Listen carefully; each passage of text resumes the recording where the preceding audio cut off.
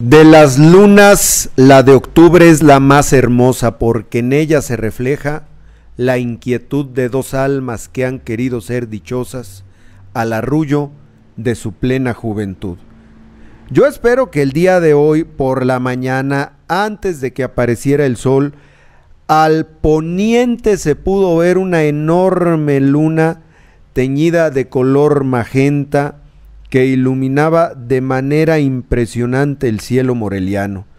Yo creo que nuestra amiga Brendita por eso anda muy inspirada el día de hoy, que nos tiene la siguiente colaboración. Brenda, te escuchamos. Buenas tardes. Me da muchísimo gusto saludarlos. Muy buenas tardes. Estamos muy contentos porque regresamos mes de octubre muy muy felices. De verdad me siento bien contenta y entonces lo repito mucho pero Juan José Rosales el abrazo cariñoso que nos damos todos los viernes a ti al equipo y a toda la gente que nos escucha este, a través de los distintos medios de, de, de transmisión de este noticiero así como por Radio Tormenta. Muchísimas gracias por estar aquí vamos a compartir un momentito de luna, de octubre, de nacimientos, de poetas, y pues vamos a empezar con la luna de octubre. ¿Han tenido oportunidad de ver la luna en estos días? Les pido por favor que se den un tiempo para hacerlo. Octubre es un mes que dicen que las lunas son las más bonitas. Alguna vez busqué qué podría ser o de dónde había podido nacer esto y lo que tengo hasta ahorita es que por el movimiento de la información que tengo es que por el movimiento de nuestro planeta es un momento en el que la cercanía con el satélite es distinta y propicia que las lunas de octubre se caractericen por su belleza, por lo grandes y por la luz, la, la luz que emana de la luna. Incluso hoy también va a haber un eclipse, un eclipse de luna que va a ser visible en distintos lugares del mundo y también de nuestra República Mexicana, ahí alrededor de las 8 de la noche muy hermoso octubre. Y obviamente vamos a traer algunos escritores que nacieron o que sucedieron cosas con ellos en su vida importantes durante el mes de octubre tan lleno de luna. Lo primero que encontré fue un fallecimiento el 7 de octubre de 1849 de un escritor muy eh, vital en la literatura. Su nombre es Edgar Allan Poe. Es un escritor estadounidense que practicó muchísimo el ejercicio de escribir a lo largo de su vida y de su carrera literaria. Escribió de todo y fue muy obsesivo con ciertos temas, los llevó artísticamente al, a la vida en, las páginas, pero lo hizo con, con una gran capacidad. Si, si hay oportunidad de leer a Poe, incluso en inglés, que es el idioma que utilizó para escribir, será de gran deleite para quien se dé esta oportunidad. Sus temas obsesivos tenían que ver con la muerte, el entierro en vida y en muerte, el duelo, eran sus temas como, como que siempre se le presentaban y hay relatos muy conocidos de Poe que tienen este que tienen este sesgo, este toque, que es el pozo y el péndulo, la máscara de la muerte roja, el corazón del ator, Berenice. Eh, él fue una gran influencia para muchos escritores por su estilo que es de horror, este, su narrativa llena de horror, pero también tiene romanticismo y la maestría en los relatos con influencias góticas. A la gente que él pudo influenciar, de los que conocemos, es a Arthur Conan Doyle y a Agatha Christie, ambos autores que, que llevaron a la vida personajes muy interesantes de detectivescos, uno de ellos el autor de Sherlock Holmes. Bueno, Edgar Allan Poe fallece el 7 de octubre de 1849 bajo la magia y el embrujo de las lunas de, octubre y también en este mes se da una coincidencia muy, muy particular. El 10 de octubre de 1870 nace un autor ruso y el 10 de octubre de 1892 nace otro autor que es serbio-croata y el 19 de octubre nace otro autor pero guatemalteco.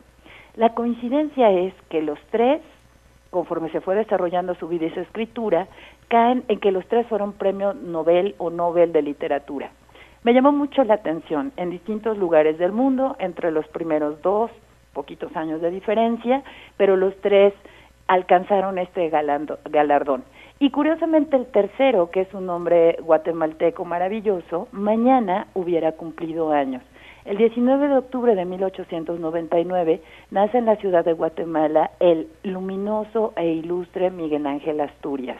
Como se los dije, ganó este premio, este galardón, pero lo que ganó más fue el reconocimiento de la luz. Al ser poeta, este hombre que mañana hubiera cumplido años, este, nos deja un caudal maravilloso que si no conocen no es la primera vez que escuchan este nombre, híjole, Miguel Ángel Asturias, cualquier situación, acuérdense, también tenemos medios electrónicos donde podemos acceder rapidísimo a las cosas, la, la inmediatez, la rapidez con la que la podemos hacer es muy bella, la, que la herramienta que nos da el Internet, pero también están los libros, o sea, Miguel Ángel Asturias es un nombre que sale de esta coincidencia y que bajo la luna de octubre me gustaría muchísimo que pudiéramos escuchar un poco de su pensamiento, centrarnos un poco más en él y recordarlo mañana que va a ser su cumpleaños. Él decía, Madre, te bendigo porque supiste hacer de tu hijo un hombre real y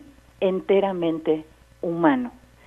Esta frase del mismo Miguel Ángel Asturias puede ser una muy bella forma de invitarlos a que conozcan a este poeta.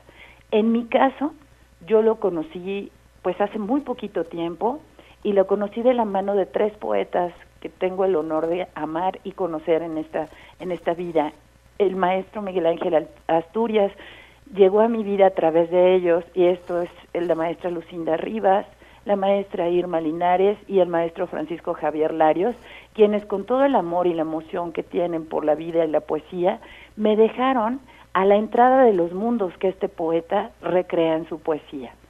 Miguel Ángel Asturias es un hombre, como lo dijo respecto a su mamá, un hombre real y enteramente humano, que conforme vayan leyendo su poesía van a encontrarse espejos en donde se pueden reflejar y pueden ver realidades que tienen que ver con algo que a él le preocupaba mucho, que tiene que ver con la vida y con cómo nos comportamos en ella, cómo respaldamos nuestras acciones con nuestra conducta. No, no, no, no quisiera que se confundieran, no es moralista, sencillamente toca y recrea la vida de una forma muy especial y dice, toda obra, cualquiera que sea, y esto lo dice, lo decía Miguel Ángel Asturias, sea literaria, sea política, científica, siempre debe estar respaldada por una conducta y esta conducta debe de ser bastante bien sopesada para que pueda realmente tener algo fuerte. Me despido de ustedes con la frase que encontré de Miguel Ángel Asturias, donde refleja esta preocupación por el ser,